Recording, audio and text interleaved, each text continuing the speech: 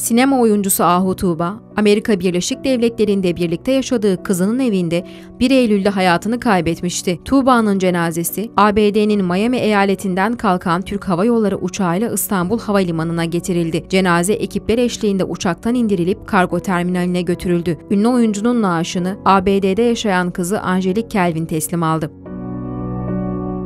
Ahu Tuğba'nın kızı Kelvin, ben herhalde migren ilacının bir etkisi olduğunu düşünüyorum annemin ölümünde. Aç karnına almış olduğu ateş düşürücü migren ilacı da üzerinde yazıyor. Birden fazla alınca kanamaya sebebiyet verir diye şeklinde konuştu. Ayrıca annesiyle yaşadığı son konuşmayı anlatan Kelvin, ilgi istiyorum dedi bebek gibi. O hissetti sanki bana dedi ki, kızım ben ölürsem beni Türkiye'ye göm, beni burada bırakma dedi açıklamasını yaptı. Angelique Kelvin annesinin sosyal medya hesabından cenaze işlemlerine ilişkin detayları paylaştı. Paylaşımda bu cumartesi saat 11'de Beyoğlu Atlas Sineması'nda anma töreni olacak. Cenaze Teşvikiye Camii'nden öğle kılınacak cenaze namazının ardından toprağa verilecek. Annemi birlikte dualarla uğurlayalım, dualarla gitsin denildi.